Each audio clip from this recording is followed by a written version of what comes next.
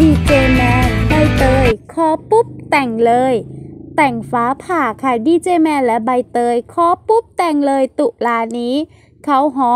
ช่วงนี้เป็นเทศกาลขอแต่งงานของดาราซะจริง ๆ ค่ะ ใครที่มีแฟนแต่ไม่โดนขอแต่งงานเลยว่าเฉยนะคะ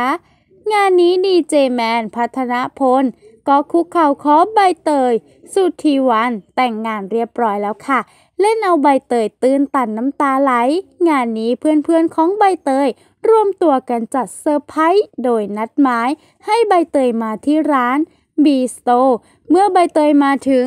เพื่อนๆต่างก็ออกมาต้อนรับ จากนั้นก็เป็นซีนดีเจแมนที่เดินออกมาคุกเข่าสวมแหวนขอแต่งงาน โดยใช้แหวนประจำตระกูล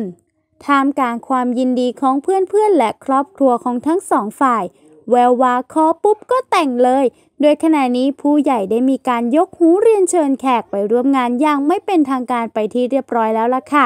โดยแจ้งว่าจะมีกำหนดจัดงานมงคลตุลาคมนี้ เรียกว่าขอปุ๊บก็แต่งปั๊บเลยทีเดียว ท่ามกลางความยินดีของเพื่อนๆ และครอบครัวของทั้งสองฝ่ายเลยล่ะค่ะ ยังไงทางเราก็ขอแสดงความยินดีกับคู่นี้ด้วยนะคะ